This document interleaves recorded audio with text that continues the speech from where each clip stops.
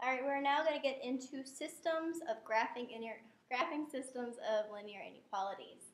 In this one, it's a little bit hard. I'm given a 3 by 3, well, not really 3 by 3, 3 by 2. Systems of inequalities where I'm given three equations, only with variables x and y. You won't be having to worry about x, y, z. Fear not. So I'm looking at this, and I'm thinking, oh my god, what am I going to do? Well, I'm going to start with the easiest equation. I'm going to make them all really be equal signs. So y is greater than negative 4. He's really just graphing the line y equals negative 4. Easy peasy. y equals negative 4. Well, I'm at the y-axis. 1, 2, 3, 4. I'm at the negative 4 spot. Now, before, I also looked at the inequality and whether or not it was going to be a dotted or a straight or shaded line. So when it's y is greater than, there's no or equal to part. So I'm going to create a dot, dashed or dotted line. I'm not going to shade yet. I will get to that momentarily. The second equation is not in slope-intercept form. So I'm going to need to adjust it. All right, so let's do that down here.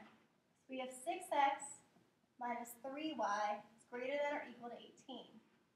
So let's bring the 6x over to the other side. So I have 18 minus 6x. And we divide everything by 3, leaving negative 3, I'm sorry, negative 3, leaving me with the inequality y is greater than or equal to 18 divided by negative 3 is negative 6. Negative 6 divided by negative 3 is positive 2x. So I'm really dealing with the equation here.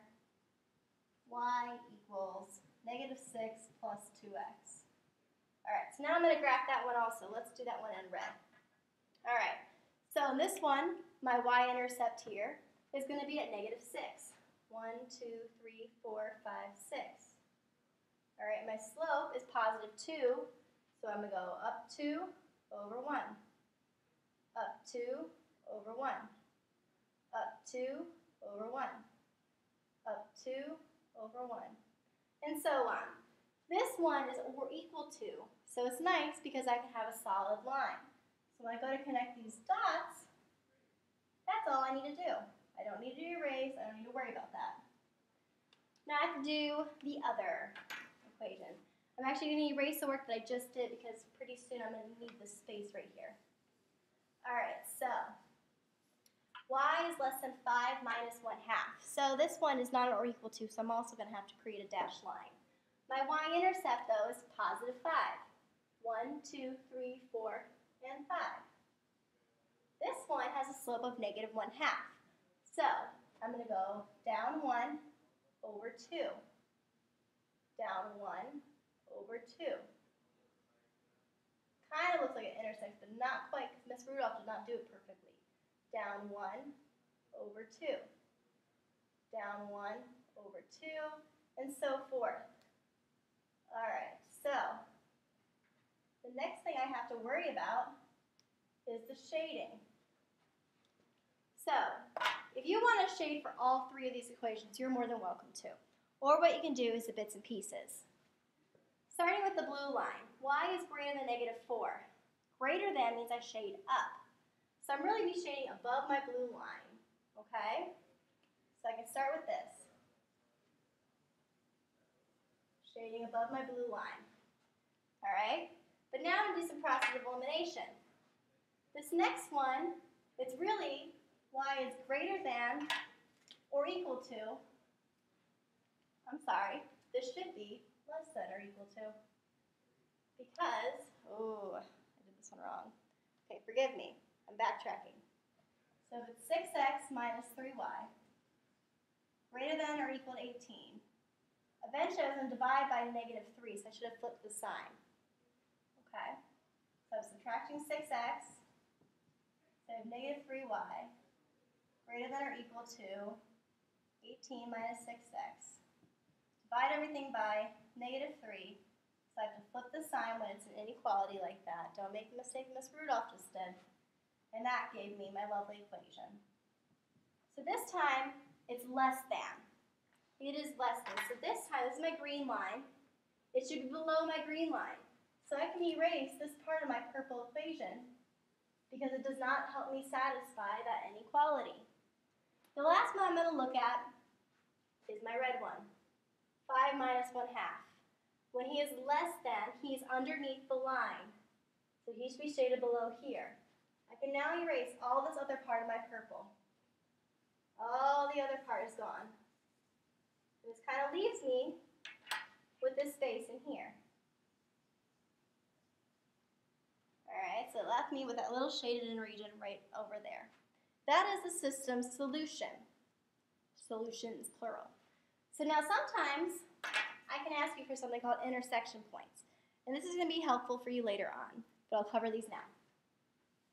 All right, so to find intersection points, the solutions, or solutions, because some of them don't have or equal to parts, you need to set each equation equal to one another.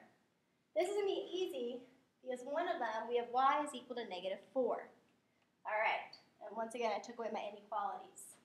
So for one of them, for two of them actually, when I pair the first equation with the third equation, I can just plug negative 4 in for y. So negative 4 equals 5 minus 1 half x. And I also will do that for the second one. When I bring the 5 over, I'm left with negative 9 is equal to negative 1 half x.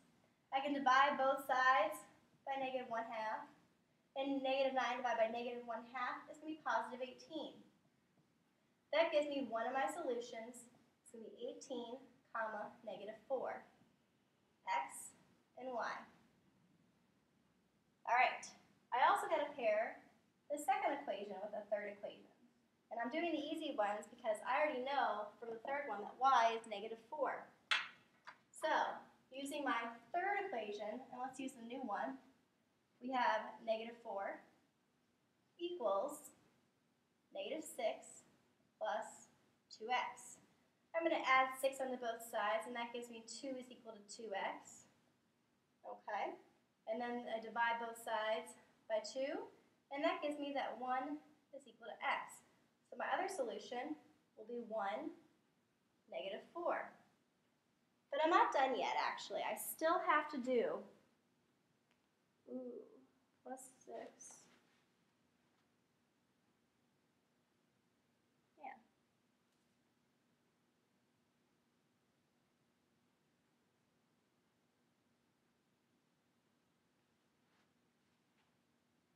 Okay, so I still have to do the other part of the equations. I'm pausing here. Okay. The other equation I have to do are 1 and 2 paired together, so I'm actually going to erase the bottom part of this and work down here. So I have to pair numbers 1 and 2 together. To solve these two systems together, I got both of them set equal to y, and because they're both equal to the same value, I can actually set their equations equal to one another. So 5 minus 1 half x is equal to negative 6 plus 2x. So what I can do now, I can add 6 onto both sides. So that leaves me with 11 on this side. And I can add 1 half. So I have 11 equals, let's say 2.5x. All right, so we divide both sides by 2.5. And so we have 11 divided by 2.5 equals my x value. And now I need a calculator.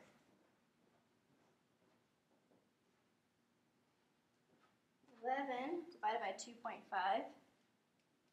Well, that is equal to twenty-two fifths. Okay. So now that's my x. I still need my y. So I'll need to plug it back into the original equation.